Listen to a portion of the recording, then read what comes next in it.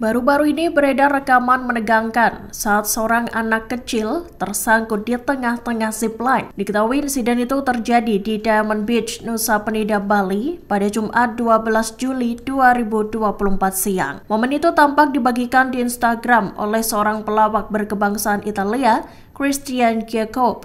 Dikutip dari Tribun Travel, dalam video yang beredar, seorang gadis kecil tengah menaiki zipline di antara dua tebing. Namun tiba-tiba zipline itu macet di tengah jalan. Hal itu pun membuat anak perempuan tersebut tergantung di atas permukaan laut dengan tinggi ratusan meter. Meski zipline yang dinaikinya macet, gadis tersebut tak hilang akal. Ia tetap tenang dan berusaha menggerakkan kaki serta badannya agar tali zipline-nya bergerak maju. Terkait insiden itu, Kapolsek Nusa Penida Kompol Ida Bagus Putra mengatakan gadis tersebut berusia 11 tahun dan merupakan anak dari warga negara asing. Menurut Ida, insiden itu terjadi lantaran kondisi angin yang berlawanan arah dengan pergerakan zipline.